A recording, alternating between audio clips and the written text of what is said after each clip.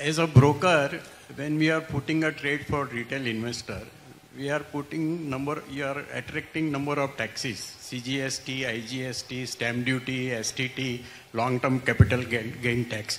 So today government of India is earning more than the broker. We have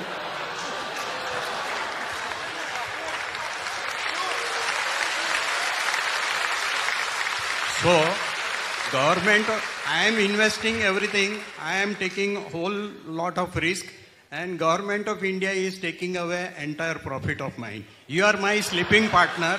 I am a working partner with my finance, my risk, my staff, everything. So what do you want to say on this? Number two, there is one more question for you. You have removed cash component, Mr. Lodha is also there, from buying a house.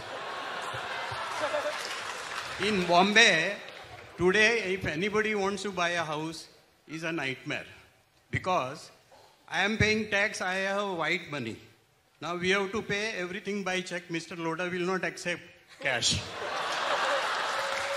so, my bank balance is purely after paying all taxes to government of India.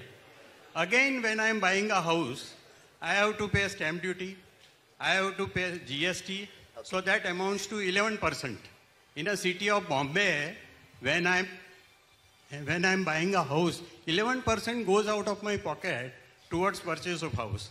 So what do you, how you will assist a small uh, person with limited resources to buy a house and how a broker can function with hordes of taxis where government of India is my sleeping partner and I am a working partner with no income.